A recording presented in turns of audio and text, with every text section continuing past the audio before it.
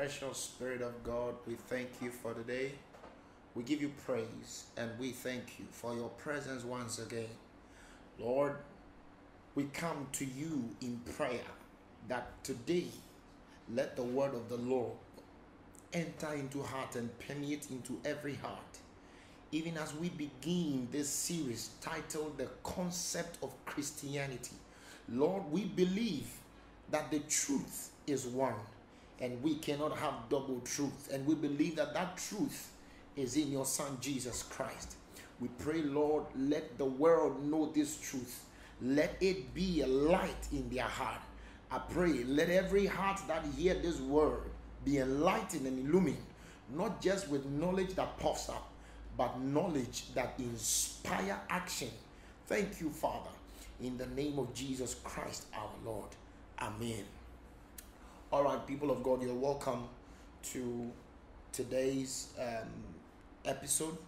We are actually starting a new series from today, and the title is The Concept of Christianity. Now, I, I really love this title. I really love this particular series that we are going to do because of the details that you're going to have. I'm telling you, this is loaded, it's going to be packed, it's going to be wonderful, and we are trusting God that you are going to also share it around. And your muslim friends uh, if you have hindus if you have atheists and all these guys they are going to be blessed as well. And we are trusting god that as you do so salvation is going to hit to a lot of people. You know let me first of all appreciate you all you who have taken upon yourself to share our videos to talk to people about it. You're doing a, wonderful job we, we've, we've, we've seen great um, views on our YouTube channels. I'm telling you, you don't know how you're blessing lies. You, you're changing lives. That's what it means. Because if I preach and you don't share it, if you don't invite somebody to come and subscribe, to come and like and all of that, it's not going to work. So you also are part of this. And I'm telling you, heaven is proud of you. Heaven is proud of you. God bless you so much. You have no idea a, blessing you are to the world. Thank you so much. All right, so the concept of Christianity, I think you're ready for this. You get your Bible, your notebook, and your pen with your eyes open to watch. All right, so we're going to use First Timothy chapter 2, verse 4 and 5. Um, that's going to be our theme scripture for this study. All right, let's look at what is there. First Timothy chapter 2, verse 4 and 5 downwards. All right. Okay, who will have all men to be saved and to come unto the knowledge of the truth? All right, I think it will be better. Let me do the three. For this is good and acceptable in the sight of God our Savior. Now, underline that word God our Savior. Who will have all men saved and to come unto the knowledge of the truth? Glory. For there is one God. Now, I want you get this. For there is one God and one mediator between God and men, the man Christ Jesus, who gave himself a ransom for all to be testified in due time, where whereunto I'm ordained a preacher and an apostle, I speak the truth in Christ and lie not, a teacher of the Gentiles in faith and in verity. Now, this is very important. You see, the concept of Christianity, I I want us to actually understand the world view. This is what um, um, theologians call it the world view of Christianity. I mean, what is our concept? What is the concept of Christianity? What what what is Christianity all about? You know, people think when we talk about Christians, we're talking about people who, who worship on Sundays and some worship on Saturdays and all of that. You know, so they think Christianity is just one of the religions of the world. So we, we, we have Islamic religion, we have Christian religion, we have Confucianism, we have um, Shintoism, Hinduism, and all of those stuff. So Christianity is, is the largest religion of the world. All right. So, but that is not what Christianity is about. The concept of Christianity is is summed up in the verses that I read to you. All right from the verse 3 For this is good and acceptable in the sight of God our Savior. First of all, Christianity introduces God as Savior. Now, this is big. I'm telling you, this is big. It is big because when you look at the worldview of all the religions of the world, worldview here means the, the presuppositions, the, the concept, the concept of religions, right? When you look at Islam, Islam believes that God, you know, the word Islam, the word Islam actually means submission. All right, it means submission to submit. And Muslim, a Muslim is one who submit himself to God, to Allah, right? So Islam is submission, and that is where their worldview actually comes from. It means that man subjecting himself under God. All right, and that's why I believe that's why they pray with their faces bowed down as a sign that they are humbling themselves before God. You, you get the point? And that is the worldview. So Islam believes that for you to go to paradise, for you to enjoy paradise, you need to make sure your good works outweighs your bad works. Because they believe that when God, when, when the world ends, God is going to measure our good works as against our bad works. So if your good works outweighs your bad works, then you enjoy paradise. If your bad works outweighs your good works, then you go to hell. All right. There are a lot of people who think Christians and Muslims worship the same God. Now, in this study, I'm going to take my time to explain to you that is not so. It is not so at all. So, Islam, Islam does not present God as a savior. No, they present God as the maker of everything. Islam believe that God is the originator of everything. Everything is sourced from God. God created everything. That's what they believe, all right? And they pick that belief from the Bible. And so we can say they are right in some sense. They believe that. And then they believe, like I told you, when it comes to salvation, they believe that it is dependent on man. Now, they believe that God created Adam. They believe God made Eve. They believe that Adam disobeyed God. They don't believe that what Adam did became sin that passed on all men. You get it? They believe in, in they believe that Adam repented and so God forgave Adam. And that is why Adam, they refer to Adam as the first prophet. All right, they believe God forgave Adam. Now, this is their concept, this is this is their worldview. So they believe for you to be saved, like I told you, not even saved per se, they don't have the word saved. They have forgiveness, they have uh, um, you being in paradise and stuff like that. Now, that is their worldview. You have to do good. And that's why they have the five pillars of their faith, all right? The, the pillars of their faith and all of those stuff. They, they do zakat and uh, the rest. They give alms, zakat, they pray five times a day, and they do all kinds of things. This they do to prove or to to in, in anticipation and expectation to receive salvation as they have been taught by their prophet who is um, Muhammad. All right. This book unveils in accuracy the identity of the God man Jesus. The truths, carefully hewn from God's word concerning Jesus, will enlighten the believer and cause him to rest in the surety of Jesus being the Savior of his life. Who was Jesus? His name is mentioned in all circles of life, yet without accurate knowledge of who he is. Knowing Jesus, his death, burial, and resurrection sets one for the Christian life. This book can be used for Bible study in all Christian groups, in campuses, youth groups, and many more. Dare to grab a copy of the Shepherd's Stuff. Kindly call these numbers to order for a copy now. Plus 233 54 039 2085 or plus 233 55 77 32706. Thank you. Right. Great. When you there, there are other world views as well. I'm not going to go into I'm, I'm not going to go deep into that. We have the pantheistic worldview. The pantheistic worldview, um, um, I will summarize it this way. They believe everything is God and God is everything. So they believe all the things, all creation, the things that we see, uh, they are they are an expression of God. They are an expression of God. So God is everything. God is your light. God is your car. God is your laptop. God is everything. All right. Now, this is what they believe. Some religions, like the Confucianists and um, uh, Hindus and so forth and so on, they believe that that God is not a definite being. Unlike Islam, Islam believe God God is a definite being. Christians believe God is a definite being. Um, they don't believe God is a definite being. They believe God is God is the concept of the world. I mean, everything we see is God, and God is everything we see. All right. Now that is that is kind of very stupid, you know. All right, it doesn't make sense. All right. Christianity is very different. I'm telling you, and those of you who are students, I would want you to go and study this. It's very different. Christianity, unlike Islam, Islam preaches man subjecting himself to God.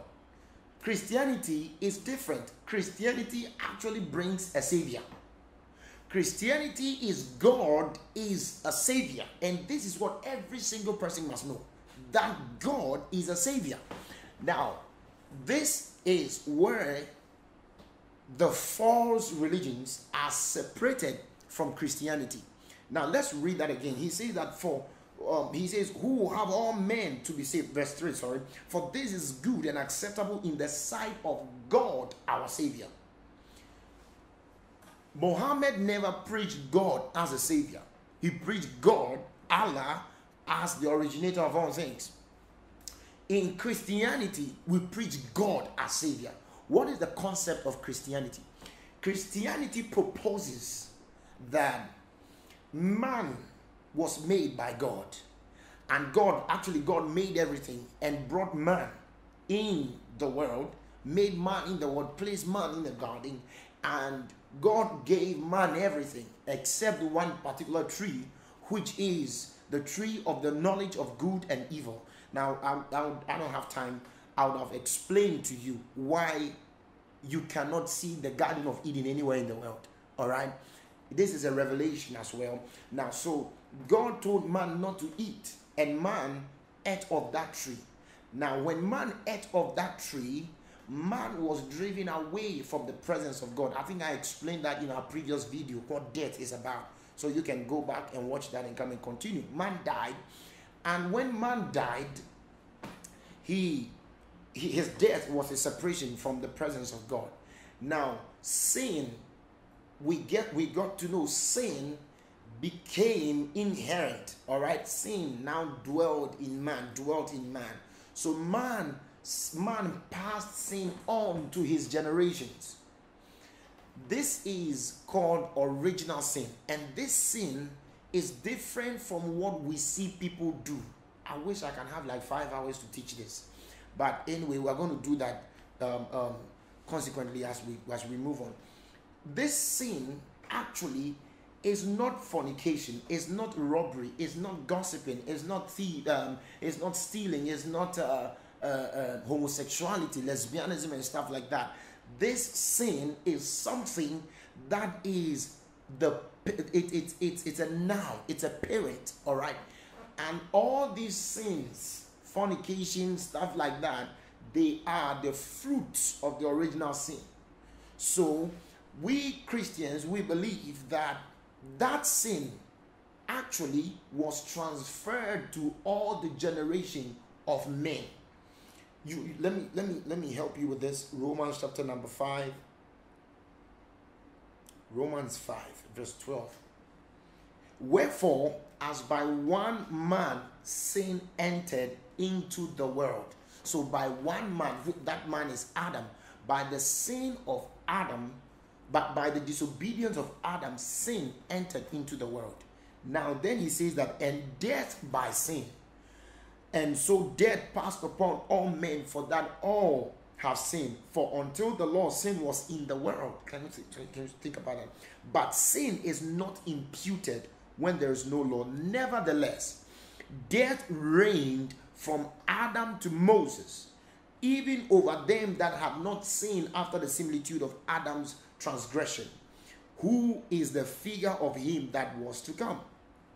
But not as the offense, so also is the free gift. For if through the offense of one many be many be dead, much more the grace of God and the gift by grace, which by one man Jesus Christ, which is by one man Jesus Christ, and abounded unto many. And not as it and not as it was by one that sinned, so is the gift. For the judgment was by one man to condemnation, but the free gift is of many offenses unto justification. Listen, for if by one man's offense death reigned, so you see, it's from one man to others, from one man to many, from one man to many, from one man to many. So when Adam sinned, it affected the human race, it affected everybody. It affected everybody. Now, that means the sin of Adam brought death. I explained that in our previous video, like I said. The sin of Adam brought death to everybody. Whether you ate of it or you didn't eat of it, you, made, you were made a sinner. All right? Whatever Adam ate, whatever fruit it was. You know, some people say it's apple. It's not an apple. It's, it's not apple. All right? Else, no, it's not an apple. So every single person became a sinner because of one disobedience of Adam. All right? Now, I remember in one of our videos, I said Adam was the father of creation. What that means is that he was the source.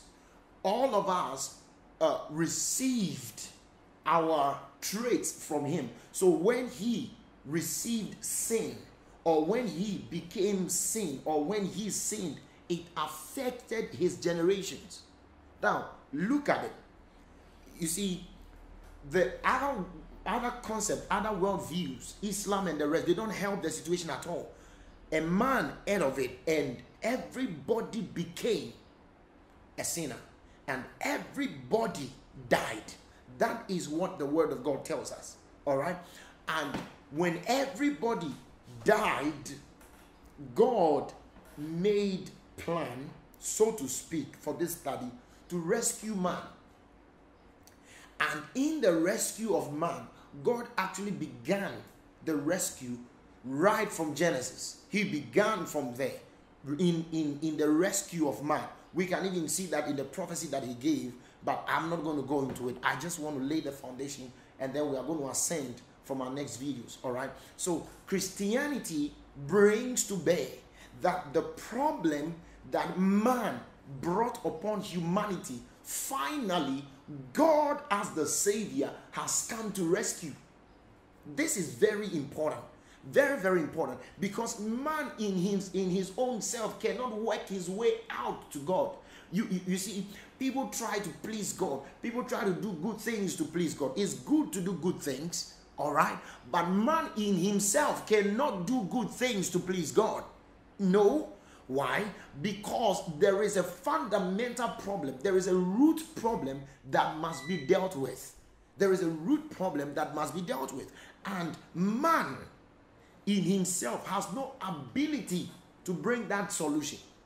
You get the point? Man cannot. Unlike what what Islam teaches, that if you're if you're able to subject yourself to God enough, if you're able to do good enough, if you're able to do this enough, if you're able to do this enough, all right? No. Unlike the pantheistic view, which is more crazier, where God is everything, everything is God. So you see God in trees, you see God in water, you see God in everything, and everything is God, and God is everything. No. You see, but this is that God is a savior. He comes at primarily, you know, all, all of them see them as God. And this is why Christianity is not a religion. It's not a religion in the sense that all religions believe in a supreme being. So we say religion is simply the belief in a supreme being. Christianity is not a belief in God. Let, I, I'm going to say that again. Christianity is not the belief in God. In Christianity, we believe in God, but Christianity is not the belief in God. So that is religion. Religion is to believe in a supreme being and then subject yourself under that supreme being. So the traditionalists believe in a supreme being who created everything. All right. Um, um, Islam believe in the supreme being, Allah, who created everything. Uh, uh, the pantheistic people also believe that God is a force somewhere who created everything. But Christianity is not belief in God. No. Christianity is God has come to rescue men from sin. Get it straight. It is Christianity is not we are going to church. It's not oh now I'm a church goer. Oh actually now I have changed my ways. The things I used to do, I do them no more. The things I used to say, I say them no more. Now praise the Lord. I'm a Christian. I'm so holy. I'm so holy. No, that's not what it is. Christianity is that God has come to save. Now, I'm going to teach a bit of hard things in this series. Get this particular one. Christianity is that God has come to save man. God has come to save man. He says that this is acceptable in the eyes of God, our Savior. Then look at the continuation. Let's get back there. He says, For this is good and acceptable in the sight of God, our Savior, who will have all men to be saved. So it tells us God's heart all right. This is the revelation of Christianity. It's, it, it's this God wants all men to be saved. Hence, he is called God our Savior. That means that the ability to have all men to be saved is not in man, but in him. The ability, the the the that which brings the salvation for the men that he wants to be saved is not in men Get it? This is this is what makes Christianity beautiful. All right. You know, people think that oh, you don't drink, you don't chase women, you don't steal, then it means that oh, all right. When when I met a, uh, I saw a politician on TV who was bragging, I do good. This these Christians, a lot of them are bogus. I do good, and to me, I don't even go to church, but I do good, and by that I'll go to heaven. That is the apex of nonsensity. All right this is it. That is not that, that is not what Christianity is. It's not I do good. It's not you do good. No. It is he did you good. Christianity is that you cannot save yourself. Salvation is of the Lord. Salvation comes of the Lord. The Lord comes to you with his salvation. Let me tell you, another thing is this all the religions of the world, the relationship is like this from here to here. All right men are down and they are seeking to approach God. They are seeking to find God. They are climbing up to get to God. In Christianity, the relationship is like this. Come on. I don't know if you are watching with people, you can do like this. Christianity is God now comes to men. Listen, God revealed that.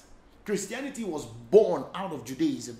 All right. We accept that it is true in some sense, but it is not true in some sense. It depends on how you're going to say it. Now, in God, God's people in Exodus were in were in slavery, and then God met Moses, and God decided. Now, this this this this is a revelation. All right, God told Moses, "The cry of my people has come to me; therefore I am come to save my people." Wow! God says, "I am come." I am come to save my people. So it, it, it, it brings to it brings to our knowledge that it is this way. It is not this way. Man cannot work himself up. Let me show you something. Let me show you. In Genesis, I've got to find this for you. I've got to find this for you. I'm telling you. All right. I've got to find this for you. Let's go to Genesis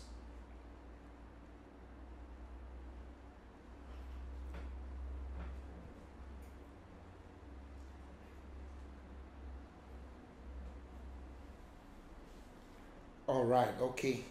Genesis 11. Genesis chapter 11, verse 1 downwards. And the whole earth was of one language and of one speech. And it came to pass as they journeyed from the east that they found a plain in the land of Shinar, and they dwelt there. And they said one to another, Go to, let us make break and burn them through thoroughly and no, let me take it again. Let me take it again. And they said one to another, Go to, let us make bread and burn them thoroughly. And they had bread for stone and slime had they for mortar. And they said, Go to, let us build us a city and a tower whose top may reach unto heaven, and let us make us a name, lest we be scattered abroad upon the face of the earth. And the Lord came down to see the city and the tower, which the children of men builded, which the children of men builded. And the Lord said, Behold, the people is one, and they have all one language, and this they begin to do, and nothing will be restrained from them which they have imagined to do. Go to let us down, and there confound their language, that they may not understand one another's speech. Now listen, after man had sinned, and man had been sacked, man tried to work himself back to God. How? They said, Let us build a tower. Let us build a tower so high you know what that means? Let us work our way upward. Let us work our way back to God. And God says it's not like that. We're going uh, we, you you need to be confounded. Because salvation plan is not you coming to me, it's me coming to you. And this this if you understand this as a preacher, it's going to help you. Nobody pays tithe to go to heaven. Nobody pays tithe to make it. Nobody, nobody. If you don't come to church, if you don't go to church, you don't make it. If you, if you don't do good, you burn in hell. That is absurd. That is not the message. The message is God is come down to you. All right? This is Christianity. Understand it. Christianity is God the Savior coming down to men to save them. So, the, the world know him to be God. The world know him to be a supreme being. The world know that, oh, let us do this so that we can get to him. Let us build so that we can get to him. Let us do this so that we can get to him. No. Christianity is that God has come to you. This is the concept of Christianity. Understand? This is the concept of Christianity. Christianity is is is let me let me read something to you quickly. All right. All right. Ephesians chapter number 2. Ephesians 2. Let me say this. Let's read this. For by grace, verse 8, for by grace are ye saved through faith, and that not of yourselves, it is the gift of God, not of works, lest any man should boast. He says that, for by grace you are saved. For by grace you are saved. It is not of your works. What does that mean? It is not of any good that you have done. Now, that means the foundation, the primary uh, uh, notion or message of Christianity is that man is incapable of saving himself. Man is incapable. The good that man does, that God, listen, God is too perfect to be satisfied with the good deeds of man. Because, I mean, I heard a story where a, a young lady was trying to impress the man. So he picked up, she picked up all the dirty clothes to do some laundry, to wash them. And the mom had gone out. She washed them, washed them very quickly, and hanged all of them on the on the dry line, and thinking that the mom will come with a very wonderful award. Now, the mother came. He says, Mommy, come see what I've done. I've washed everything. The mom said, What? Who told you to do that? He said, Mom, I washed it. The mom went to the back backside of the house. He saw and he said, Who told you? Why did you do this? And the mom actually, instead of saying, Oh, Alice, you well done. He said, The next time you do that again, what I will do to you. Don't do you know why? Because you you you have given me extra work. That is how man's best is before God. You cannot please God. This is it. Understand. This is it. Uh, there's a guy around this country. Uh, they call them common sense, uh, something like that. They, they, they just pick up Bible verses and they confuse them with their confusion and all of that. You see, they don't understand the message of Christianity. They think Christianity, there's no miracle can happen before me. I say, look at this guy, you're funny. All right. The, the, the, the, the Christian faith is not miracles. Let me say that again. You can tell him so that he can come and be blessed by this video. All right? It's it's it's it's not miracles. It's not even conflicting scriptures. The message is that a savior, God the savior has come. Hello precious ones. Allow me to introduce you an amazing book titled The Aggressive Soul Winner this is a timely book to inspire you to be a fervent soul winner. Soul winning as the very wheel on which the expansion of Christianity runs is done with a certain level of contagious fervency, and that is just what this material offers. In studying this book, the lame will walk, the walking will run as chariots, and the running will be caught up by the Spirit to do much more. Kindly pre order for the limited copies available. To order, call plus 233 54 039 2085 or plus 233 55 77 32706. God richly bless you. That, that is it. That is it. God is come. He, he has come to his people to offer salvation. That is why, you know, people know God to be a covenant God. God is a covenant. God is my covenant God. I'm covenanting with God. God is a, a, a prayer hearing God. God is a, a thunder. God is this. God is that. God is that. No, the primary revelation of who God is in Christianity is that God is a savior. So no matter what a man does, this savior is so perfect that unless he himself saves you, you cannot come to him to save yourself. Man, in fact, understand, man has no legal access to God. Man has no legal access to God. I think I should read something to you in um, understand this is very very very critical very very very critical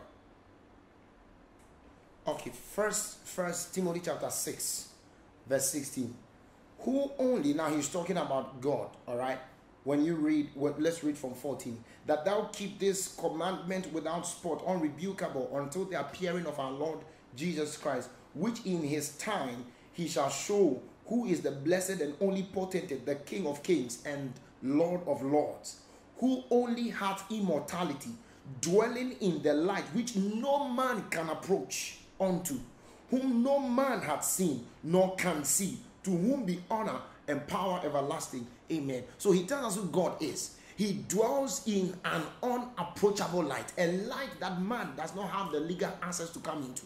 All right. So if you are working your way to God, to where? Because where he dwells, you cannot be there. He is he lives in a realm called unapproachable light. Everyone who ever had a revelation, Zechariah, Isaiah, John, who had a revelation to see God, they said, when we saw him, he was in a bright light. When we saw him, he, his countenance was, was more brighter than the sun shining in his strength. When they had all, all these revelations, can you walk there? You can't walk there. So God came in the likeness of men to save you. All right. So that is the concept of Christianity. That should tell you that those who think that they can just get saved, they can get saved by good things, they can get saved by doing wonderful things. I mean, they are wrong because God is too perfect to be bribed by your good works. He's too perfect. He's too perfect. You need him to save you. You need. How many how many of you watching me here can just walk your way? You just get into a palace and you come say, Who brought you here? So I've come. I've come.